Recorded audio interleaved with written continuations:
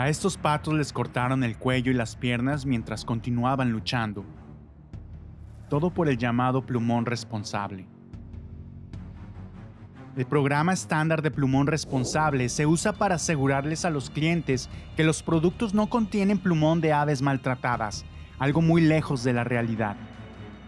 Cuando los investigadores de PETA Asia ingresaron en granjas y mataderos en Vietnam, que están vinculados a compañías que venden el llamado plumón responsable, entre ellas Gap, Guess y H&M, descubrieron una indescriptible crueldad hacia los patos.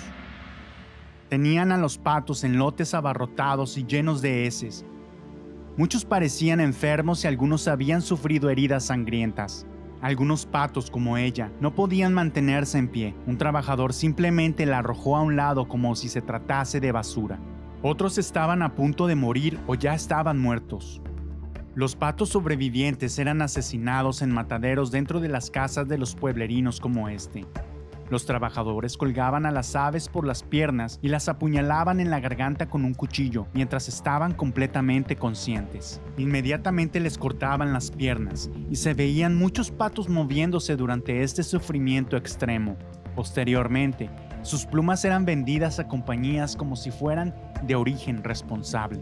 En este matadero, que el gerente confirmó tenía la certificación estándar de plumón responsable, un trabajador pisó a unos patos que intentaban escapar.